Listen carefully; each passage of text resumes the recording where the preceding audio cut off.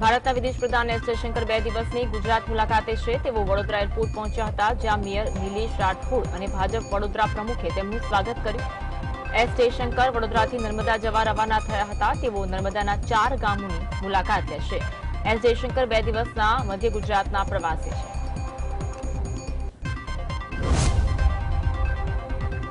દસ દિવસના ગુજરાત મુલાકાતે રહેલા બાગેશ્વર ધામના આચાર્ય ધીરેન્દ્ર કૃષ્ણ શાસ્ત્રી આજથી બે દિવસ ડાયમંડ સિટી સુરતમાં છે. સુરતના લીંબાયતના નીલગીરી મેદાનમાં બાબા ધીરેન્દ્ર શાસ્ત્રીનો દિવ્ય દરબાર આયોજિત થયો છે. સુરત જિલ્લા સહિત અલગ અલગ જિલ્લા અને અન્ય રાજ્યમાંથી બે લાખથી વધુ લોકો દિવ્ય દરબારમાં આવે તેવી સંભાવના છે. સુરતના બાગેશ્વર ધામના દિવ્ય દરબારમાં સુરક્ષાનો લોખંડી બંદોબસ્ત ગોઠવાયો. લીંબાયતના નીલગીરી ગ્રાઉન્ડમાં ચારસોથી વધુ પોલીસ જવાનો અને સાતસો હોમગાર્ડના જવાનો તૈનાત રહેશે. આ ઉપરાંત અંદાજે બે લાખ ભક્તોના આગમનને લઈ ટીઆરબી સહિત ટ્રાફિક પોલીસનો પણ ખાસ બંદોબસ્ત કરાશે. બાબાના દિવ્ય દરબારમાં એક જેસીપી, બે ડીસીપી, ચાર એસીપી સહિતના વરિષ્ઠ અધિકારીઓ દેખરેખમાં રહેશે. દિવ્ય દરબાર પહેલા બાગેશ્વર ધામના મહારાજ ધીરેન્દ્ર શાસ્ત્રી રોડ શો યોજે તેવી શક્યતા છે. આ રોડ શોમાં પણ સુરક્ષાનો ચુસ્ત બંદોબસ્ત ગોઠવાશે. સુરતની મુલાકાતે આવેલા બાગેશ્વર ધામ સરકારના ધીરેન્દ્ર શાસ્ત્રીના વિવાદિત નિવેદન સામે લોકોમાં આક્રોશ છે તેઓએ સુરતના લોકોને પાગલ કહેતા તેમણે કહ્યું કે સુરત के पागल लोगों को यही कहना है कि हम दो दिन सूरत में है छब्बीस को यहाँ दरबार है परसों प्रवचन और विभूति का वितरण है सबका साथ और आमंत्रण है આમ સુરતના લોકોને પાગલ કહી અપમાનિત કર્યા હોવાનો લોકોમાં સૂર જોવા મળ્યો ધીરેન્દ્ર શાસ્ત્રી રાત્રિ રોકાણ કરવા અબ્રામા સ્થિત ગોપીન ગામ ખાતે આવેલા ગોપીન ફાર્મ પહોંચ્યા, જ્યાં તેમના કાફલા સાથે ધારાસભ્ય સંગીતા પાટીલ સહિત બાગેશ્વર ધામ આયોજન સમિતિના અગ્રણીઓ પણ હાજર રહ્યા. જામનગરમાં ભાજપના નેતાના પુત્રએ વેપારીને ધોકો લઈને ધમકાવ્યા હોવાનો વીડિયો સોશિયલ મીડિયામાં વાયરલ થયો. શહેરના બર્ધન ચોક વિસ્તારમાં પાથરણાવાળાનો ત્રાસ છે અને તેની પાછળ હપ્તાખોરી હોવાનું મનાય છે તેવામાં શાસક પક્ષના નેતા કુસુમબેન પંડ્યાનો પુત્ર ધોકો લઈને કાપડના વેપારીને ધમકાવતો હોય તેવો વીડિયો સોશિયલ મીડિયામાં વાયરલ થયો. આ વીડિયો સામે આવ્યા ત્યારે પોલીસે વેપારીને મારીને ધમકાવ્યો હોવાનો આક્ષેપ લાગ્યો છે. બાગેશ્વર પીઠાધીશ્વર પંડિત ધીરેન્દ્ર કૃષ્ણ શાસ્ત્રીના ગુજરાત પ્રવાસની શરૂઆત થઈ. પંડિત ધીરેન્દ્ર શાસ્ત્રી અમદાવાદ એરપોર્ટથી સીધા યજમાન અમરાઈવાડીના પૂર્વ કોર્પોરેટર અરવિંદ ચૌહાણના ભાઈના ઘરે પહોંચ્યા, ત્યાં ભોજન લીધું. ત્યાંથી તેઓ વટવા ખાતે દેવકીનંદન મહારાજના કાર્યક્રમમાં હાજરી આપવા પહોંચ્યા. હતા બે દિવસ સુરતના લીંબાયતમાં બાગેશ્વર ધામ સરકાર ધીરેન્દ્ર શાસ્ત્રીના દિવ્ય દરબારનું આયોજન થયું છે. લિંબાયતમાં નીલગિરી સર્કલના વિશાળ મેદાનમાં સમગ્ર કાર્યક્રમનું આયોજન થયું, જેમાં બે લાખથી વધુ લોકો ઉપસ્થિત રહેવાની શક્યતા છે. જેને લઈ શહેર પોલીસ વિભાગે પૂરતો સુરક્ષા બંદોબસ્ત ગોઠવ્યો છે. ગુજરાત વિધાનસભામાં ટૂંકું ચોમાસું સત્ર મળશે. ચોમાસા સત્રમાં યુનિવર્સિટી એક્ટ બિલ રજૂ કરવાની તૈયારીઓ શરૂ કરી દેવામાં આવી. વર્ષ બે હજાર નવમાં આ એક્ટ લાવવામાં આવ્યો હતો, પરંતુ જે તે સમયે આ એક્ટને લઈને વિદ્યાર્થીઓ સહિત અધ્યાપકોમાં ભારે રોષ જોવા મળતા આ એક્ટના અમલીકરણના નિર્ણયને સરકારે મોકૂફ રાખ્યો. આગામી વિધાનસભા સત્રમાં આ બિલ સરકાર ફરી રજૂ કરે તેવી પૂરી શક્યતાઓ છે.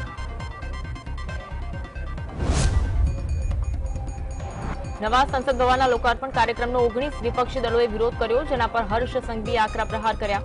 હર્ષ સંઘવીએ વિપક્ષી દળો પર લોકશાહીનું અપમાન કરવાનો આરોપ લગાવ્યો છે.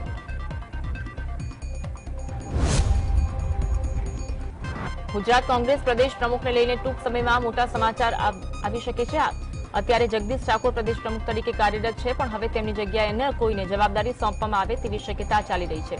ગુજરાતના કોંગ્રેસ પ્રમુખ તરીકે દીપક બાબરિયાનું નામ રેસમાં સૌથી આગળ ચાલી રહ્યું છે. તો સેવાદળના રાષ્ટ્રીય અધ્યક્ષ લાલજી દેસાઈ અને પૂર્વ વિપક્ષ નેતા પરેશ ધનાણીના નામ પણ ચર્ચામાં છે. સૂત્રો દ્વારા જાણવા મળી રહ્યું છે કે જો દીપક બાબરિયા પ્રમુખ ન બને તો પૂર્વ વિપક્ષી નેતા પરેશ ધનાણીના શિરે પ્રદેશ પ્રમુખનો તાજ આવી શકે છે.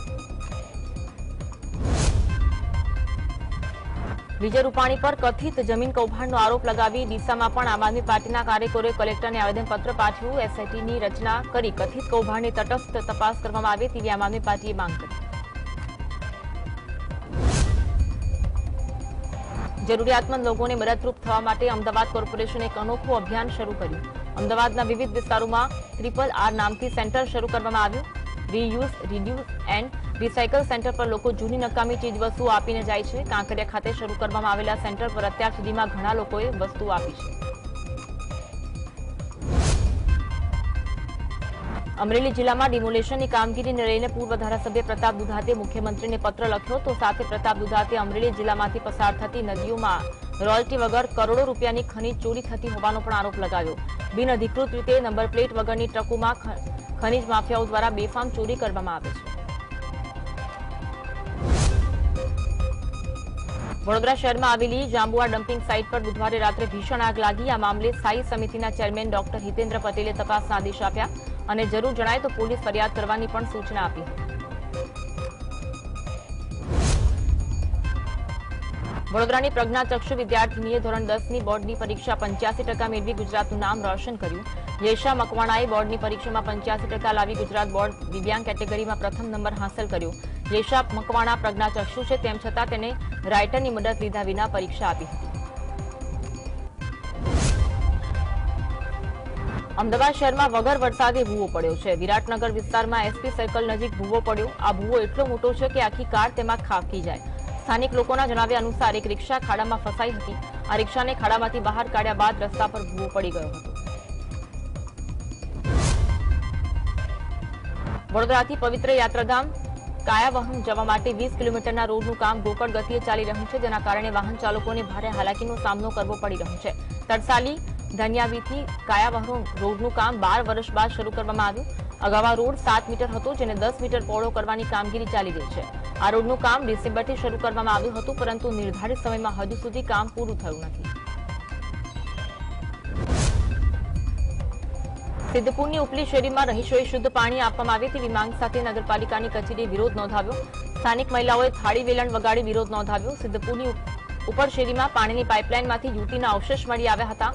પાણી નથી આવતું તેવી સ્થાનિકોની ફરિયાદ બાદ પાઇપલાઇન ચેક કરતા તેમાંથી યુવતીની અવશેષ મળી આવ્યા. આ મામલે સ્થાનિકોએ પાઇપલાઇન બદલીને ચોખ્ખું પાણી આપવામાં આવે તેવી માંગ કરી છે. રાજકોટના વિવાદમાં સપડાયેલી કરણસિંહજી સ્કૂલમાં બાલાજી મંદિર ટ્રસ્ટ દ્વારા ગેરકાયદે બાંધકામ પર આજે કલેક્ટર સુનાવણી કરશે. બાલાજી મંદિર ટ્રસ્ટના બાંધકામવાળી જગ્યા શિક્ષણ વિભાગની હોવાનું ખુલ્યું. બાલાજી મંદિરને શૈક્ષણિક હેતુ માટે આપેલા સ્કૂલ બિલ્ડિંગમાં ગેરકાયદેસર બાંધકામનો મુદ્દો હાઈકોર્ટમાં પહોંચ્યો. બીજી તરફ કલેક્ટર દ્વારા સમગ્ર મામલે તપાસ કરવા એક કમિટી પણ બનાવવામાં આવી હતી. આ કમિટીએ પોતાનો રિપોર્ટ કલેક્ટરને સુપરત કર્યો ત્યારે આજે કલેક્ટર દ્વારા થનારી સુનાવણી પર સૌ કોઈની નજર છે. દક્ષિણ પ્રયાગના તીર્થક્ષેત્ર ચાંદોદ ખાતે ગંગા દશરા મહોત્સવની ઉજવણીમાં આજે સીએમ ઉપસ્થિત રહેશે અને સાંજે પૂજા અર્ચના તેમજ મહાઆરતીમાં સામેલ થવાના છે. ત્યારે ચાંદોદ સીએમની મુલાકાતને લઈને તળાવમાં તૈયારીઓ પૂર્ણ થઈ ચૂકી છે. ધારાસભ્ય શૈલેષ મહેતા, જિલ્લા કલેક્ટર, સીએમ સિક્યુરિટી, વહીવટીતંત્ર, ઉચ્ચ પોલીસ અધિકારીઓ ચાંદોદના પ્રસિદ્ધ મલારાવ ઘાટ ખાતે પહોંચ્યા અને સીએમ પ્રોટોકોલ અંગે બેઠક યોજી હતી. ગીર સોમનાથ જિલ્લાના કોડીનારમાં એસટી બસનો ડ્રાઈવર દારૂ પીધેલી હાલતમાં ઝડપાયો. એસટી વિભાગના અધિકારીઓએ બ્રેથ એનાલાઇઝર મશીન વડે ચેક કરતા ડ્રાઈવર નશામાં હોવાનું સામે આવ્યું. દીવ જખો રૂટની બસના ડ્રાઈવરને કોડીનાર પોલીસને સોંપી દેવામાં આવ્યો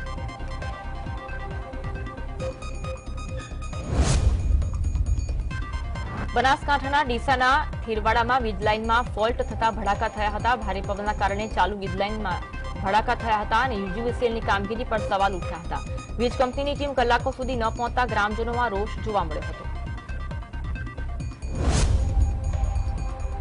બનાસકાંઠાના ડીસાના વરનોડ ગામે તસ્કરોએ તરકાટ મચાવ્યો. છેલ્લા વીસ દિવસમાં ચોથી વખત ચોરીનો બનાવ બન્યો હતો.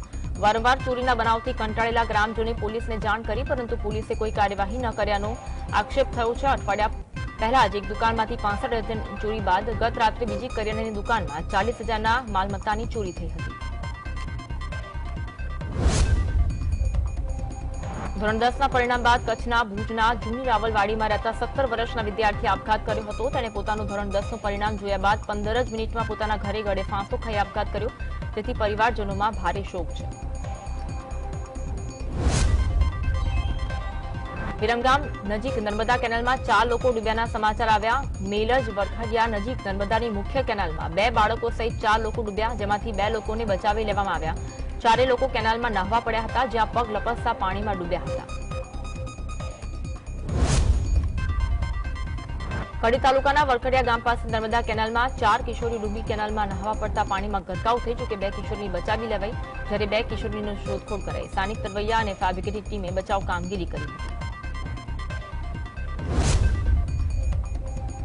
રાજકોટ પોલીસે રૂપિયા પાંચસો અને સોની નકલી નોટો સાથે ત્રણ શખ્સોને ઝડપી પાડ્યા. નિકુંજ ભાલોડિયા નામનો વ્યક્તિ સ્કેનર અને ફોટોશોપની મદદથી ચલણી નોટો બનાવતો હતો. નિકુંજ ભાલોડિયા સાથે વિશાલ ગઢવી અને વિશાલ બુદ્ધદેવને પણ ઝડપી પડાયો. ત્રણેય શખ્સો પાસેથી રૂપિયા પાંચસોના દરની ચાર હજાર છસો બાવીસ અને રૂપિયા સોની ત્રણસો પાંત્રીસ નકલી ચલણી નોટ ઝડપી પડાઈ.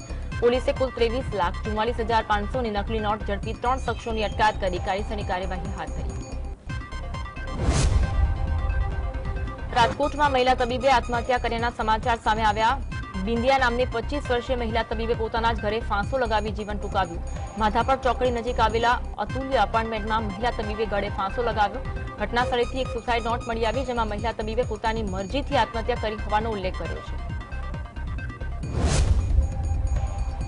મહીસાગરમાં નશામાં ધૂત ટીડીઓ અકસ્માત સર્જ્યો. બાવલિયા ચોકડી નજીક ટીડીઓની કારે ટક્કર મારતા વડોદરાના પરિવારને ગંભીર ઈજા પહોંચી. અકસ્માત બાદ ભોગ બનનાર પરિવારના સભ્યોએ ટીડીઓને ધમકાવ્યા. ટીડીઓ એટલા નશામાં હતો કે તેને ચાલવાના પણ હોશ નહોતા. બાકોર પોલીસે આ અંગે તપાસ હાથ ધરી.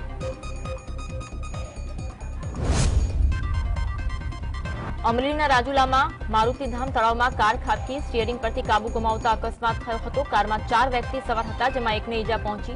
તો કારને ક્રેનથી બહાર કાઢવામાં આવી. નગરપાલિકાની ટીમ અને પોલીસ કર્મીઓ મદદ માટે ઘટના સ્થળે પહોંચ્યા હતા. રાજકોટ જિલ્લાના ધોરાજીમાં ખેતરમાં કામ કરતી એક મહિલાનું મોત થયું. મગ કાઢવાના મશીનમાં આવી જતા મહિલાનું મોત નીપજ્યું. ગીતા પાંડોળ મહિલા દાહોદની વતની છે અને ત્રીસ વર્ષની ઉંમર હોવાનું જાણવા મળ્યું હતું. પોલીસે આ મામલે વધુ કાર્યવાહી હાથ ધરી. બાયડના સાટંબા ગામમાં બાઇક ચોરી થયાની ઘટના સામે આવી, જેમાં આરોપીની સીસીટીવી ફૂટેજ સામે આવ્યા. પોલીસે આ મામલે સીસીટીવીમાં દેખાતા શખ્સની શોધખોળ હાથ ધરી હતી. વેરાવળમાં પોલીસ મેન પર ટોળાએ હિંસક હુમલો કર્યો. ચોરીના આરોપીની તપાસમાં રેલવે સ્ટેશન રોડ પર કોલસાવાડી વિસ્તારમાં પોલીસની ટીમ પહોંચી હતી અને પીસીઆર વાનના કર્મચારી સાથે ઝપાઝપી થઈ. રામ ભરોસિયા પોલીસ ચોકીમાં ફરજ બજાવતા રાહુલ ઝાલા અને ભાવસી ચૌહાણ પર હુમલો થયો. ઝુંપડપટ્ટી વિસ્તારમાં જનારા પોલીસ કર્મીને ઢીકા માર મરાયો. ઇજાગ્રસ્ત પોલીસ કર્મચારીએ ચૌદ શખ્સો સામે ફરિયાદ નોંધાવી. ભાવનગર ડમીકાંડમાં વધુ ત્રણ આરોપીની ધરપકડ કરવામાં આવી હતી. ભાવનગર પોલીસ સ્ટેશનમાં નોંધાયેલી ફરિયાદના આધારે એક સગીર સહિત ત્રણ આરોપીની ધરપકડ થઈ. વધુ ત્રણ આરોપીની ધરપકડ સાથે ભાવનગર ડમીકાંડમાં આરોપીઓનો કુલ આંકડો હવે પચાસે પહોંચી ગયો છે.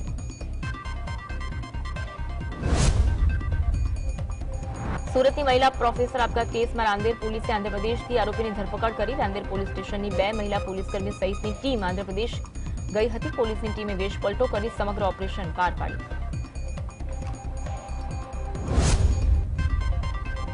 પારડીના ખેલાવ ગામમાં લગ્નના ચાર દિવસ પહેલા ગુમ થયેલી દુલ્હન તેની માતા અને બહેન સાથે મળી આવી. આ વખત આ મામલે નવો વળાંક સામે આવ્યો. લગ્નમાં આર્થિક તંગીને લઈ ત્રણેય ઘર છોડી ચાલ્યા ગયા હતા. બ્યુટી પાર્લરમાં જવાનું કહી માતા અને બે પુત્રી ઘરેથી નીકળ્યા હતા.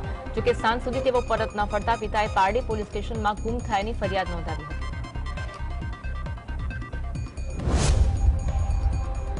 દાહોદના લીમખેડાના પાળા ગામે દીપડાની દહેશત છે. ત્યારે વન વિભાગ દ્વારા દીપડાને પાંજરું પાંજરે પૂરવા માટે પાંજરું ગોઠવ્યું હતું. વન વિભાગના અધિકારીઓએ પણ ઘટનાસ્થળની મુલાકાત લીધી. ફૂલપરી બાદ હવે પાડા ગામે પણ દીપડાએ બે લોકો પર હુમલો કર્યો, જેમાં એકનું મોત થયું હતું.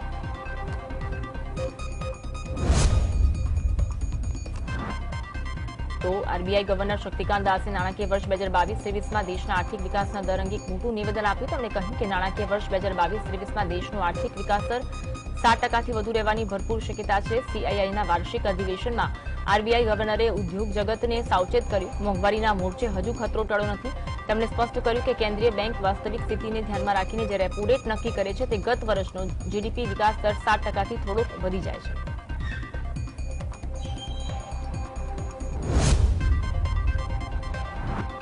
સોના ચાંદીના ભાવમાં ગુરુવારે મોટો ઘટાડો જોવા મળી રહ્યો છે. બુલિયન માર્કેટમાં ચોવીસ કેરેટ સોનું હજાર રૂપિયાની નજીક પહોંચ્યું, જ્યારે કે ચાંદીનો ભાવ પણ સિત્તેર રૂપિયાની નજીક પહોંચ્યો. બુલિયન માર્કેટમાં ચોવીસ કેરેટ સોનાનો ભાવ સાહીઠ હજાર બસો અઠ્યાવીસ રૂપિયા હતું, જે ચારસો ચારસો બાવન રૂપિયા પ્રતિ દસ ગ્રામ સસ્તું થયું, જ્યારે કે ચાંદીનો ભાવ આઠસો સત્તર રૂપિયા ઘટી સિત્તેર હજાર ત્રણસો બાર રૂપિયા પ્રતિ કિલો થઈ ગયો. વર્ષ બે હજાર વીસમાં શરૂ થયેલી ગોલ્ડ સુપર સાયકલ હજુ પણ ચાલુ છે. ફેસબુક, વોટ્સઅપ અને ઇન્સ્ટાગ્રામ જેવા સોશિયલ મીડિયા પ્લેટફોર્મની પેરેન્ટ કંપની મેટાએ ફરી એકવાર છટણીની જાહેરાત કરી છે. છટણીની જાહેરાત કરતા જ ટ્વિટરમાં કુલ દસ હજાર કર્મચારીની બહારનો રસ્તો બતાવવાનો નિર્ણય કરાયો છે. આ છટણી માર્ચમાં જાહેર કરાયેલી યોજનાનો એક ભાગ છે. મેટાની આ છટણીથી ભારતના ઘણા ઉચ્ચ અધિકારીઓને પણ અસર થઈ છે. કંપનીએ ઘણા સિનિયર હોદ્દા પર કામ કરતા લોકોને બહારનો રસ્તો બતાવ્યો. મેટાની છટણીના તાજેતરના રાઉન્ડમાં અસરગ્રસ્ત કર્મચારીઓની યાદીમાં ભારતના ઘણા મોટા અધિકારીઓના નામ પણ સામેલ છે.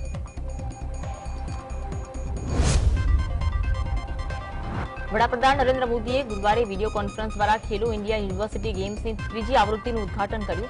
આ દરમિયાન પીએમ મોદીએ કોંગ્રેસ પર પ્રહાર કરતા કહ્યું કે કોંગ્રેસ માત્ર નામ બદલતી રહે છે કોમનવેલ્થ ગેમ્સ દરમિયાન થયેલું કૌભાંડ રમત પ્રત્યેની અગાઉની સરકારોના વલણનો જીવંત પુરાવો હતો. રમતગમતની સ્પર્ધામાં એક કૌભાંડ કરવામાં આવ્યું હતું, જેને વિશ્વમાં ભાગ જમાવી હતી. આ યોજના ગામના બાળકો માટે પંચાયત યુવા ખેલ અભિયાનના નામે ચાલતી હતી.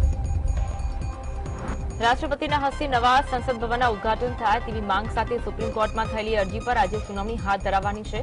સુપ્રીમ કોર્ટના વકીલ સી આર જયાસુકીને જાહેરથી અરજી કરી આ અરજીમાં કહેવામાં આવ્યું છે કે ઉદઘાટન સમારોહમાં રાષ્ટ્રપતિને સામેલ નહીં કરીને ભારત સરકારે ભારતીય બંધારણનું ઉલ્લંઘન કર્યું છે. આમ કરીને બંધારણનું સન્માન કરાઈ રહ્યું નથી. પીઆઈએલમાં કહેવામાં એમ પણ આવ્યું કે સંસદ ભારતનું સર્વોચ્ચ ધારાકીય એકમ છે. ભારતીય સંસદમાં રાષ્ટ્રપતિ અને બે ગૃહ રાજ્યસભા અને લોકસભા સામેલ છે. રાષ્ટ્રપતિની પાસે કોઈ ગૃહને બોલાવવાની અને સત્તાવસની શક્તિ છે, તેની સાથે સંસદ અથવા લોકસભાને ભંગ કરવાની શક્તિ પણ રાષ્ટ્રપતિની પાસે છે. નવી સંસદ ભવનના ઉદઘાટનને લઈ રાજકીય ગરમાવા વચ્ચે શિવસેનાના અખબાર સામના દ્વારા અડવાણીનો ઉલ્લેખ કરી સરકાર પર ચાપખા મારવામાં આવ્યા. સામના એવો પણ આરોપ લગાવ્યો કે પીએમ મોદી સંસદનું ઉદઘાટન એ રીતે કરશે, માનો કે ભાજપનું કાર્યાલય હોય. સામનાએ નેતા વિપક્ષને ઉદઘાટન સમારોહમાં આમંત્રણ ન આપવાના મુદ્દે પણ આલોચના કરી. સામનામાં સંપાદકીયમાં લખવામાં આવ્યું કે એ સંસદમાં વિપક્ષ નેતાનું પદ પ્રધાનમંત્રીના સમકક્ષ હોય છે. નિમંત્રણ પત્ર પર નેતા વિપક્ષનું નામ હોય છે તો લોકતંત્રની શોભા છે. રાષ્ટ્રપતિ દ્રૌપદી મુર્મુને પણ આમંત્રિત ન કરાયાનો આક્ષેપ કરાયો છે. આસામના ગુવાહાટીમાં કેન્દ્રીય ગૃહમંત્રી અમિત શાહે વડાપ્રધાન મોદીના હસ્તે નવા સંસદ ભવનના ઉદઘાટનનો વિરોધ કરનાર વિપક્ષી દળોની ઝાટકણી કાઢતા આક્ષેપ કર્યો કે કોંગ્રેસ પાર્ટી અને તેમના સાથી દળો હલકી રાજનીતિ કરીને કાર્યક્રમનો બહિષ્કાર કરી રહ્યા છે. અમિત શાહે કહ્યું કે હું વિપક્ષી દળોને પૂછવા માંગુ છું કે છત્તીસગઢમાં વિધાનસભાનું ખાતમુહૂર્ત સોનિયા ગાંધી, રાહુલ ગાંધી અને તત્કાલીન મુખ્યમંત્રી દ્વારા કરવામાં આવ્યું હતું, ત્યારે તેમણે રાજ્યપાલને બોલાવ્યા નથી.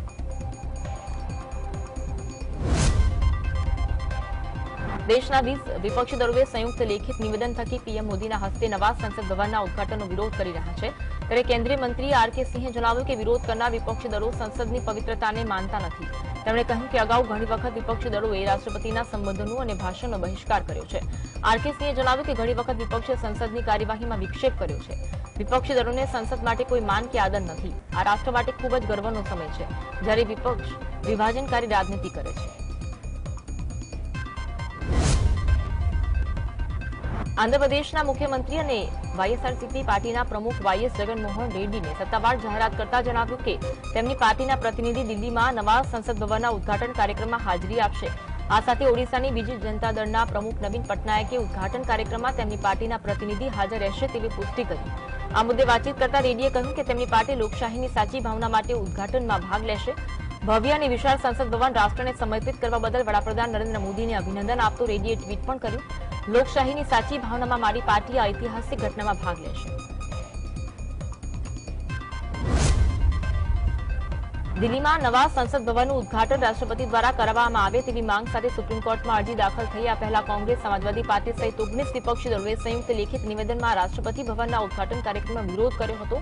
સુપ્રીમ કોર્ટમાં દાખલ કરવામાં આવેલી અરજીમાં રજૂઆત કરવામાં આવી છે કે લોકસભાના સચિવે સંસદ ભવનના ઉદઘાટન માટે રાષ્ટ્રપતિને આમંત્રણ ન આપી બંધારણના નિયમોનું ઉલ્લંઘન કર્યું છે. આ મુદ્દે વાતચીત કરતા ઉદ્ધવ ઠાકરે સમૂહની શિવસેના પાર્ટીના નેતા સંજય રાઉતે જણાવ્યું કે તેમની પાર્ટી પણ નવી સંસદ ભવનના ઉદઘાટન કાર્યક્રમનો બહિષ્કાર કરશે. નવા સંસદ ભવનના ઉદઘાટન સમારોહને લઈ રાજકીય હોબાળો અટકવાનું નામ નથી લઈ રહ્યું. કોંગ્રેસ અને સમાજવાદી પાર્ટી સહિત ઓગણીસ વિપક્ષી દળોએ આ કાર્યક્રમનો બહિષ્કાર કરવાની જાહેરાત કરી, જેના પર હવે યુપીના મુખ્યમંત્રી યોગી આદિત્યનાથની પ્રતિક્રિયા સામે આવી. સીએમ યોગીએ કહ્યું કે વિપક્ષી પાર્ટીઓ આ મુદ્દે રાજનીતિ કરી રહી છે. નવા સંસદ ભવન પ્રત્યે તેમનું બેજવાબદારું ભર્યું વલણ છે. અઠ્યાવીસ તારીખ સ્વતંત્ર ભારતના ઇતિહાસમાં એક ગૌરવશાળી દિવસ તરીકે નોંધવામાં આવનાર છે. આ દિવસે વડાપ્રધાન મોદી ભારતની લોકશાહીના પ્રતિક સમાન નવી સંસદને દેશના લોકો સમક્ષ રજૂ કરશે. નવી સંસદ ભવનનું ઓગણીસ વિપક્ષી પાર્ટી વિરોધ કરી રહી છે ત્યારે મહારાષ્ટ્રના નાયબ મુખ્યમંત્રી દેવેન્દ્ર ફડણવીસે ગુરુવારે જણાવ્યું કે ઉદઘાટનનો બહિષ્કાર કરનારાઓને લોકશાહીમાં વિશ્વાસ નથી અને તે માત્ર સંસદ જ નહીં, પરંતુ ભારતના એકસો કરોડ લોકોનું આસ્થાનું મંદિર છે. જ્યારે વિપક્ષના વિવિધ નેતાઓએ વિવિધ વિધાનસભા ભવનનું ઉદ્ઘાટન કર્યું, ત્યારે તેઓએ આ પ્રશ્ન કેમ ન ઉઠાવ્યો? પીએમ મોદી, જ્યારે નવી સંસદનું ઉદ્ઘાટન કરવાના છે, ત્યારે બહિષ્કારની વાત કરવી એ યોગ્ય નથી. નવા સંસદ ભવનનું ઉદઘાટન અઠ્યાવીસ મે બે હજાર ત્રેવીસના રોજ વડાપ્રધાન મોદીના હસ્તે થવાનું છે. મોટાભાગની વિપક્ષી પાર્ટીઓ પીએમ મોદીના ઉદઘાટનનો વિરોધ કરી રહી છે. વિપક્ષી નેતાઓનું કહેવું છે કે નવા સંસદ ભવનનું ઉદ્ઘાટન રાષ્ટ્રપતિ દ્રૌપદી મુર્મુ દ્વારા કરવું જોઈએ. જોકે આ દરમિયાન બહુજન સમાજ પાર્ટીના સુપ્રીમો માયાવતીએ એક ચોંકાવનારો નિર્ણય કર્યો. બસપાએ અઠ્યાવીસ મેના રોજ સંસદના નવા બિલ્ડિંગના ઉદઘાટનને સમર્થન આપ્યું. માયાવતીએ ટ્વીટમાં લખ્યું કે કેન્દ્રમાં પહેલા કોંગ્રેસ સરકાર હોય કે ભાજપની, બસપાએ હંમેશા પક્ષની રાજનીતિથી ઉપર ઉઠીને દેશ અને જનહિત સંબંધિત મુદ્દાઓ પર તેમનું સમર્થન કર્યું છે. નવા સંસદ ભવનને લઈને ચાલી રહેલો વિવાદ જોર પકડી રહ્યો છે. અઠ્યાવીસ મેના રોજ તેનું ઉદ્ઘાટન પણ નક્કી હોવાનું માનવામાં આવી રહ્યું છે. પરંતુ હવે આ મામલો સુપ્રીમ કોર્ટમાં પહોંચ્યો. પીઆઈએલ દાખલ થઈ અરજદારે પીએમ મોદી દ્વારા સંસદ ભવનના ઉદઘાટનનો વિરોધ કર્યો. સપાની મદદથી રાજ્યસભા પહોંચેલા પૂર્વ કેન્દ્રીય મંત્રી કપિલ સિબ્બલે આ મુદ્દે ટ્વીટ કરી તેના ઉદ્ઘાટન પર સવાલ ઉઠાવ્યા. સિબ્બલે પોતાના ટ્વીટમાં લખ્યું કે સંસદ આપણા ગણતંત્રનું પ્રતીક છે. રાષ્ટ્રપતિ પ્રજાસત્તાકના વડા છે. આ ઔપચારિક કાર્યક્રમમાં રાષ્ટ્રપતિની ગેરહાજરી આપણા પ્રજાસત્તાકની નૈતિકતાનું અવમૂલ્યન કરવા સમાન છે. તેમણે પ્રશ્નાર્થ સ્વરમાં કેન્દ્રને પૂછ્યું કે શું સરકારને આની પરવા છે?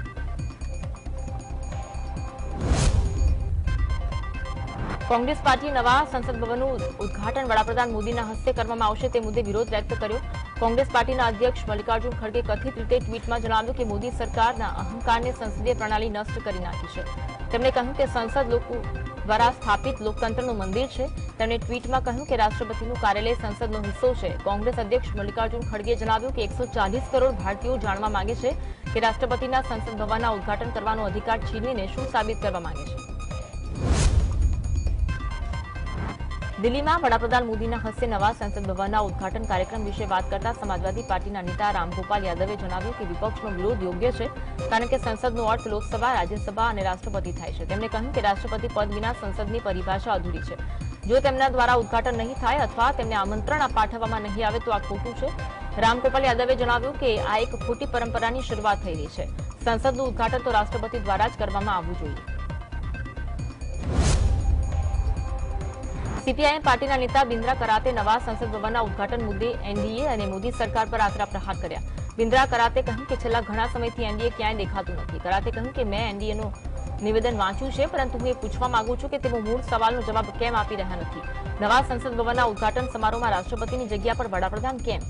આ બાબતે કોઈ તર્ક તો હોવો જોઈએ. કરાતે જણાવ્યું કે જવાબ આપવાની જગ્યાએ માત્ર આરોપ લગાવવા યોગ્ય નથી. દિલ્હીમાં તૈયાર કરવામાં આવેલ નવા સંસદ ભવનનું ઉદ્ઘાટન વડાપ્રધાન મોદી દ્વારા અઠ્યાવીસમી મે રોજ કરવામાં આવશે. ત્યારે કોંગ્રેસના નેતા આચાર્ય પ્રમોદે જણાવ્યું કે ભારતની સંસદ ભારતની ધરોહર છે, ભાજપની નહીં. તેમણે કહ્યું કે હિન્દુસ્તાનની સંસદનું ઉદ્ઘાટન ભારતના વડાપ્રધાન નહીં, તો બીજું કોણ કરશે?